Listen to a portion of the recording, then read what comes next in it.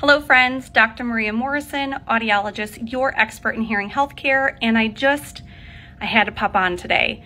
I just saw a woman. She's moved into the area from out of state. Prior to moving about five months ago, she went to an ear, nose, and throat physician for an evaluation, having difficulties hearing, and wanted a second opinion. So I asked her if she had those test results. She did. I said, I don't want to see them. Let me go through my process, my evaluation. At the end, we'll kind of compare and see if what I have to say matches up with the ENT. So I go through our evaluation. She's having significant difficulties, especially in noise. When she's in a noisy environment, she doesn't understand what's being said. She's feeling frustrated and embarrassed. When her family's trying to talk to her at the dinner table, she has difficulties. I do the hearing evaluation, and sure enough, she's got a mild sloping to severe sensorineural hearing loss. So, not a medical condition that can be fixed with an ear, nose, and throat physician. It's just nerve damage. Recommend hearing aids. We talk about her lifestyle.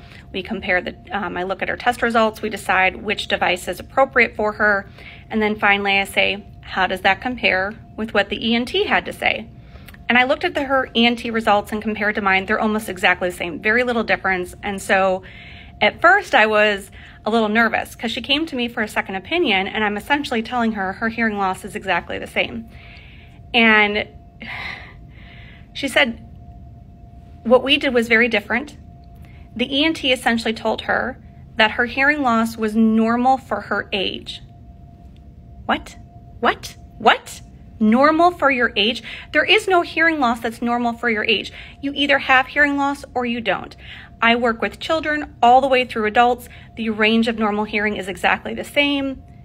So they said there was nothing that they could do to help her. She went there for help. And instead of helping, instead of maybe referring her to someone else or talking about hearing aids, they said, no, no, your hearing loss is normal for your age. There's nothing that can be done about it. Really?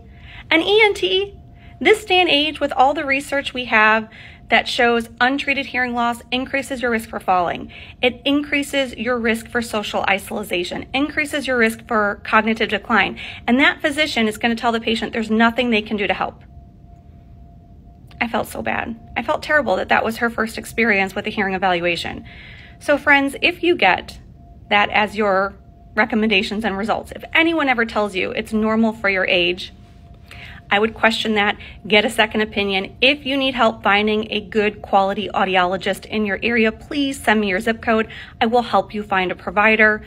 If you want more educational information, please hit that follow button. I'm here to help. I'm here to improve people's quality of life through better hearing. And if I can help you do that, I would love to. All right, friends, have a great day.